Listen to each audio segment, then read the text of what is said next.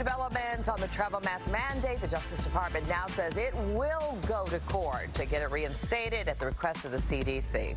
And good evening, I'm Lori Stokes. That announcement from the Justice Department is likely to create even more confusion over the mask mandate, as well as setting the stage for a legal showdown over an issue that has divided the nation. Let's get to Sharon Crowley right now with the latest development. Sharon. Yeah, good evening, Lori. Well, the CDC says an order requiring masking in the indoor transportation corridor remains necessary for public health. So the CDC asked the Department of Justice to file an appeal trying to block a federal judge's ruling earlier this week that lifted the federal travel mask mandate.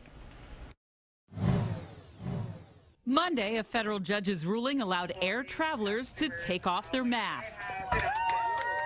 Now, the Centers for Disease Control wants people to put them back on. The CDC asking the Justice Department to file an appeal so the federal mask mandate for planes, trains, and travel hubs can be restored.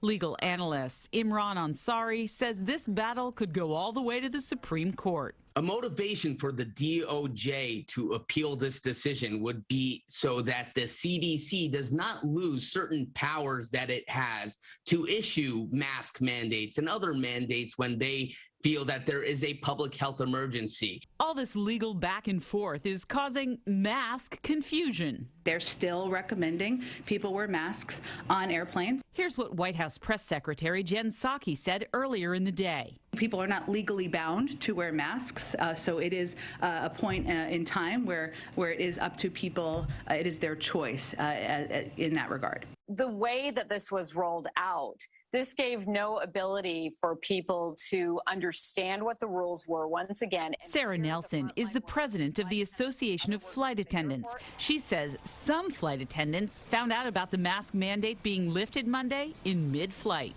there's really a mixed bag of reaction to uh, the end of the federal mask mandate. The CDC had only planned to extend the federal travel mask mandate until May 3rd.